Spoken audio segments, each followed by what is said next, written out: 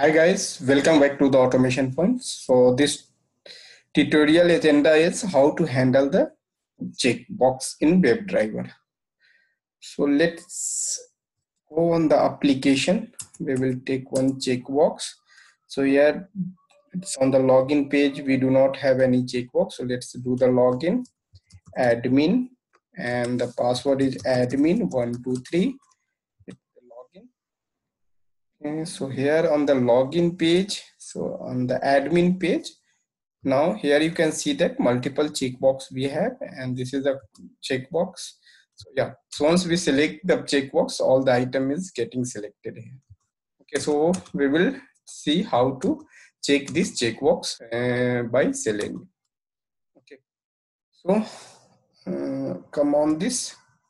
Already i have created one the handle the checkbox with uh, class. In this class, already I have code to launch the Chrome browser, to do launch the application and then do the login and navigate to the admin page. Okay, so now we will write the code here to do the click. So just to do the click guys, it's just like the link, we will identify the checkbox as a element and so then let's see driver dot find element. I dot i. Let's see what locator is available for that elements so we'll go on this element and inspect go on the inspect element. If we will here in the inspect element we can see that this element has id and it seems as a constant so we can take this one and go and dot id and id here as a locator id and then perform click on. So okay so id the know, close the bracket and then perform click. Okay yeah.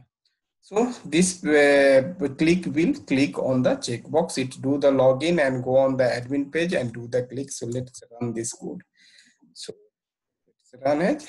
Java application and so it's launch the browser chrome browser and opening the orange hrm and now inserted credential and logged into the application.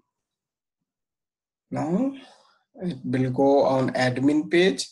And here you can see now it should select and, and it select has happened. So you can see here.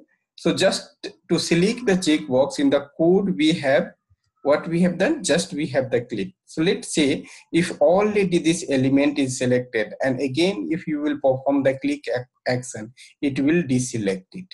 Okay? So physically it will deselect it. So to take handle that situation usually whenever we try to interact with the checkbox what we do we put this statement inside a if, if statement. If okay. And we use some other method. Take this line up to here. And pass here. And click dot. And you can see here uh, we have one element available is selected. Okay. And this is selected returns boolean true or false. If element it means checkbox is already selected then it will return true. Or if checkbox is not selected then it will return false would call this method. So if already checkbox is selected, then what should be? There should not be any click on the application. So here we will log like checkbox is selected. Okay, and then in the else block, else block, what we will do, guys? In the else block, if not selected, then we will perform this click option. Okay, so take it and put inside here, and let's take the um, state of the um, checkbox before clicking and after clicking also. so here check box status and remove this line. Check box status. Plus and take this line of the code. Okay and put it so here the checkbox status should be false. And again take the, this line of the code and put after clicking. So here you can see this checkbox status should be true. Okay so each element uh, method will return true. Okay so now this is uh, yeah so let's run this code.